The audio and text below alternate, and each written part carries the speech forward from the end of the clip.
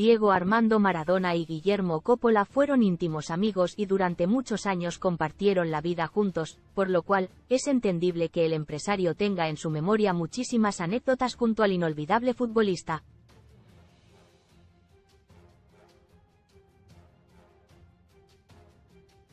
En No está todo dicho, Coppola se animó a contar una divertida situación que vivió junto a Diego Maradona hace casi 20 años atrás.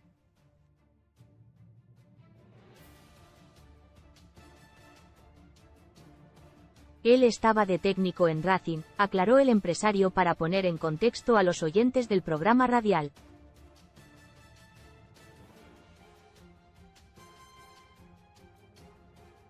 Vamos a comer a la casa de un muchacho que tenía un restaurante donde íbamos a comer nosotros con frecuencia.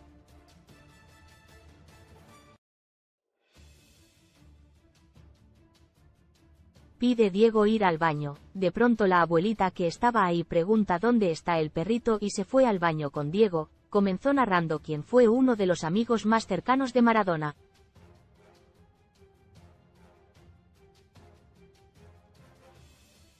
Le golpean la puerta del baño, sale una llamarada y Diego todo negro.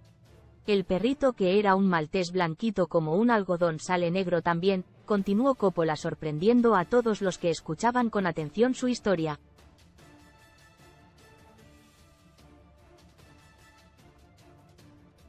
¿Qué le pasó a Diego Maradona en el baño Nu? ¿Qué pasó? expresaron sus compañeros intrigados por el motivo que generó que tanto Diego como el perrito salieran negros del baño.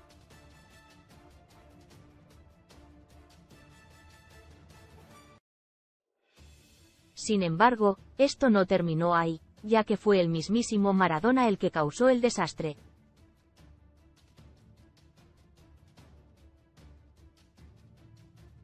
Yo le había enseñado que cuando iba prenda un fosforito con un poquito de papel, él prendió.